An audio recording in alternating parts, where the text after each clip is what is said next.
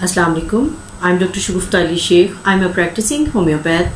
First I worked in Sharjah, now I'm in Lahore in Pakistan. आज हम obesity के बारे में बात करेंगे आप के को इल्म होगा कि इससे पहले हम इसके दो लेक्चर जो है वो अपलोड कर चुके हैं और ये उसका उस सिलसिले का आखिरी जो है वो लेक्चर है क्योंकि जो अब तक हमने लेक्चर्स में डिस्कस किया था ओबेसिटी के बारे में तो हमने उसकी कॉजेज और उसको ओवरकम करना विदाउट मेडिसिन जो है, उसके बारे में डिटेल्स बताई थी। अगर आपने वो लेक्चर नहीं सुने तो काइंडली आप पहले वो सुन लीजिए, मैं डिस्क्रिप्शन में उसका लिंक दे दूँगी। और उसके बाद ये तीसरा सुने, आज का जो लेक्चर है, वो टोटली होम्योपैथी मेडिसिन से रिलेटेड है रिगार्डिंग ओबेसिटी तो आज हम जो डिस्कशन करेंगे वो होम्योपैथिक मेडिसिन के ज़रिए हम मोटापे पर कैसे काबू पा सकते हैं। ये पहले ही हम डिस्कस कर चुके हैं कि मोटापे की वजूहत क्या हैं और ये कि कोई भी चीज़ में हम ये नहीं कह सकते कि ये मेरिकल है और ये आप मेडिसिन इस्तेमाल करेंगे तो आपका बहुत ज़्यादा वेट रिड्यूस हो जाएगा। लेकिन ये होम्योपैथिक मेडिसिन आपको मोटापा कम करने में मददगार साबित होगी। उसके साथ साथ जो ज़रूरी बातें हैं जो हमने पहले डिस्कस की एक्सरसाइज के हवाले से डाइट के हवाले से, नींद के हवाले से, हमने सारे इसके एस्पेक्ट्स जो हैं उन पर गौर किया और आपने देखा कि हमने उसको, उनको डिस्कस कर लिया। अब हम उन सारे एस्पेक्ट्स को मद्देनज़र रखते हुए, उन सारी हदायत पर अमल करते हुए, उन चंद होम्योपैथिक मेडिसिन का ज़िक्र करेंगे, जिन्होंने मोटापे को कंट्रोल करने के लिए हमें बहुत अच्छे रिज़ल्ट दिए हैं। और होम्योपैथिक मेडिसिन नो डाउट मोटापा कम करने में बहुत मददगार साबित होती हैं और इसके साइड इफ़ेक्ट्स भी नहीं होते। और अगर आप इनको रेगुलर इस्तेमाल करें और उसके साथ साथ अपनी डाइट को कंट्रोल करें एक्सरसाइज को देखें और जो भी इसकी बाकी लवाजमात हैं उनको पूरा करें तो इन ताला आप इससे बहुत अच्छे रिज़ल्ट हासिल करेंगे। इनसे बहुत अच्छे रिज़ल्ट हासिल किए गए हैं।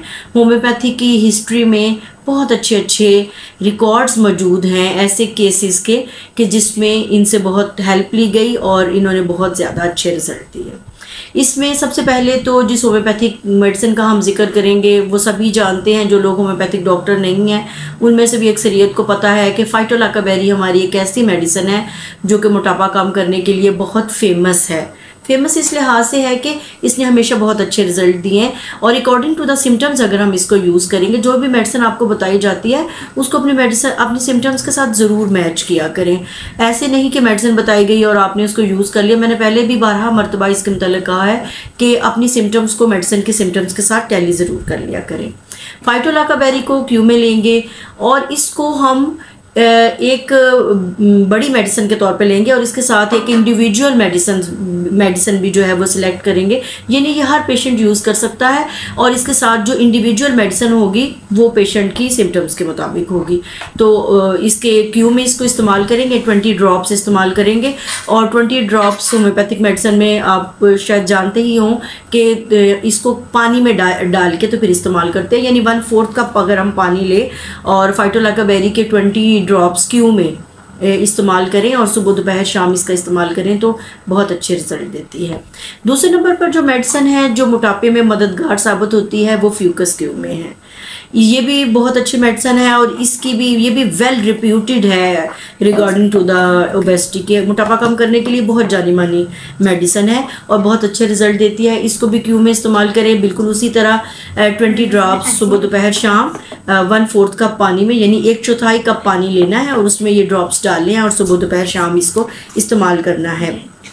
ये उन पेशेंट के लिए बहुत फ़ायदेमंद है, जिनको कोई हार्मोनल जो है वो इश्यू होता है, जैसे थायराइड वगैरह का प्रॉब्लम होता है, और उसकी वजह से, उसकी वजह से मोटापा जो है उनके बॉडी पे आ जाता है थायराइड ग्लैंड का हार्मोन जो है वो डिस्टर्ब हो जाता है तो उस सूरत में ये बहुत अच्छे रिज़ल्ट देती है। तीसरे नंबर पर जो मेडिसन है क्यू में ही उसका इस्तेमाल किया जाता है, उसका नाम है कैलोट्रोपिस ये भी क्यू में इस्तेमाल करें और उसी तरह ही ट्वेंटी ड्रॉप्स की शक्ल में इस्तेमाल करेंगे और सुबह दोपहर शाम करेंगे और वन फोर्थ कप पानी में इसको इस्तेमाल करेंगे। अगर आप कॉम्बिनेशन जो है वो मेडिसन पे बिलीव करते हैं और उसको इस्तेमाल करके अच्छे रिज़ल्ट लेते हैं तो आप इन तीनों मेडिसिन को मिक्स भी कर सकते हैं। उसको फिर ये तरीका है कि आप ट्वेंटी इनको इक्वल अमाउंट में ले लें, तीनों मेडिसिन को और एक बॉटल में मिक्स कर लें और मिक्स करने के बाद उसको रख लें और सुबह दोपहर शाम ये जो आपने मिक्सर तैयार किया है, इसमें से ट्वेंटी ड्रॉप्स लें और वन फोर्थ कप पानी में डालें और इसको इस्तेमाल करें। इन बहुत अच्छा रिज़ल्ट देंगे। और अगर आप कॉम्बिनेशन जो है वो यूज़ करते हैं और उस पर बिलीव करते हैं तो ये करें। अदरवाइज़ आप इंडिविजुअल भी इसको यूज़ कर सकते हैं। यानी खाली फाइटोला का बेरी इस्तेमाल कर लें फ्यूकस इस्तेमाल कर लें या कैलोट्रॉपिस इस्तेमाल कर लें। इसके साथ साथ जो इंडिविजुअल ये जो क्यू का आपको कॉम्बिनेशन बताया गया है, ये मोटापे के लिए बहुत फ़ायदा मंद है, लेकिन इसके साथ एक इंडिविजुअल मेडिसिन जो पेशेंट की अकॉर्डिंग टू द सिम्टम होगी, वो भी आपने ज़रूर यूज़ करनी है। अच्छा इसमें जो हमने आखिरी मेडिसन कैलोट्रॉफिस की बात की थी तो उसके में ये याद रखिएगा, ये फ़ैट रिड्यूस करती है और जो आपके मसल्स हैं, उनको हार्ड और टाइट बनाती है, जिसकी वजह से जो बॉडी की एक शेप है, वो बहुत अच्छी रहती है। अच्छा कलकेरिया कार बहुत अच्छी मेडिसिन है। इंडिविजुअल मेडिसिन की बात कर रही हूँ। और ये फेयर फैट फ्लैबी लोगों के लिए, यानी जो मोटे और थोड़े से पिलपिला सा उनका जिसम होता है और फेयर होते हैं, उनके लिए बहुत अच्छा काम करती है। और स्पेशली छोटे बच्चों के लिए।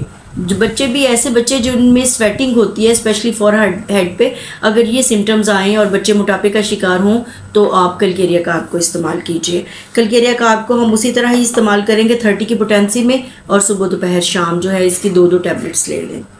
लाइकोपोडियम बहुत अच्छी मेडिसन है इंडिविजुअल मेडिसन के सिलसिले में, और लेकिन ये स्पेसिफिक उन पेशेंट को इंडिकेट करती है, उन मरीज़ों के लिए अच्छी है जिनको गैस्ट्रिक प्रॉब्लम साथ होती है। यानी मोटापा तो है ही, लेकिन उसके साथ गैस्ट्रिक प्रॉब्लम है, या लीवर में इन्फेक्शन है, या कॉन्स्टिपेशन का प्रॉब्लम है, या उनके ब्लोटिंग होती है, उनका पेट जो है वो गैस से भरा रहता है, और उनको ऐसे लगता है जैसे पेट ढोल की तरह फूला हुआ है। तो उस सूरत में लाइकोपोडियम को ज़रूर याद रखें। लाइकोपोडियम बहुत अच्छी मेडिसिन है, बहुत अच्छे रिज़ल्ट देती है। थर्टी में इसको इस्तेमाल कीजिए और सुबह दोपहर शाम इस्तेमाल कीजिए। ग्रेफाइटस थर्टी में इस्तेमाल कर सकते हैं, लेकिन ग्रेफाइटस स्पेशली फ़ीमेल की मेडिसन है। उन ख़वान की मेडिसन है जिनके पीरियड्स जो हैं वो डिस्टर्ब हो जाते हैं और उसकी वजह से मोटापा आ जाता है। उनके लिए ये बहुत अच्छी मेडिसन है। या फिर प्रेगनेंसी के बाद जो मोटापा आता है, उसमें भी ये हेल्पफुल है। फैट को फैट को जिसम से निकालने के लिए, मोटापे को कम करने के लिए इससे वज़न कम होता है। इसको थर्टी में इस्तेमाल कीजिए और दिन में तीन दफ़ा इस्तेमाल कीजिए, बहुत अच्छे रिज़ल्ट देती है। इसके अलावा सीपिया मेडिसन भी स्पेशली ख़वान की मेडिसन है, जो ख़वान मोटापे का शिकार हैं, लेकिन इसमें टाइम पीरियड चेंज हो जाता है। जैसे अभी हमने जो ज़िक्र किया, ग्रेफाइटस का, वो तो प्रेगनेंसी के बाद आने वाला मोटापा है, या हार्मोनल इम्बेलेंस होने की वजह से, या फिर पीरियड्स की प्रॉब्लम की वजह से है। लेकिन सी पी स्पेशली उन ख़वान के लिए है, जिनको मीनोपास का प्रॉब्लम होता है, और उसकी वजह से उनके जिसम पर मोटापा आ जाता है। ये उनके लिए बहुत फ़ायदा मंद है। इसको इस्तेमाल कीजिए, बहुत अच्छे रिज़ल्ट देती है। सी पी वैसे भी ख़वान के लिए बहुत हेल्पफुल है, ये बहुत सारी प्रॉब्लम्स उसके सॉल्व करती है तो ये इनशाला आपको अच्छे रिज़ल्ट देगी। थूजा मेडिसिन बहुत अच्छी है, थूजा को थर्टी में इस्तेमाल करें और इसकी जो स्पेसिफिक सिम्टम होती है। जैसे ही थूजा का नाम लिया जाता है तो एक तो मेंटल सिम्टम आ जाती है कि थूजा का जो पेशेंट है, वो समझता है कि मेरा जिसम जो है, वो कांच का बना हुआ है और ये टुकड़े टुकड़े हो जाएगा। लेकिन इस वक्त हम फ़िज़िकल सिम्टम्स के बाकी सिम्टम्स की बात करें तो इसमें एक जो स्पेसिफिक सिम्टम होती है कि कुछ लोगों को मोटापा ऐसे आता है कि बाकी सारा जिसम तो उनका नॉर्मल होता है, लेकिन बैली उनकी बहुत बड़ी भी हुई होती है। उसकी ये अगर सिम्टम आपको मिलती है तो आप मदर टिंचर के कॉम्बिनेशन के साथ या मदर टिंचर को, में से किसी एक को आप इस्तेमाल कर रहे हैं तो उसके साथ आप पूजा का भी इस्तेमाल कीजिए।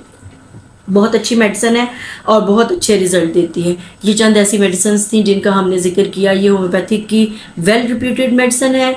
जो कि आजमाई हुई हैं और बहुत एक्सपीरियंस्ड जो डॉक्टर है, उन्होंने रिकमेंड की हुई हैं।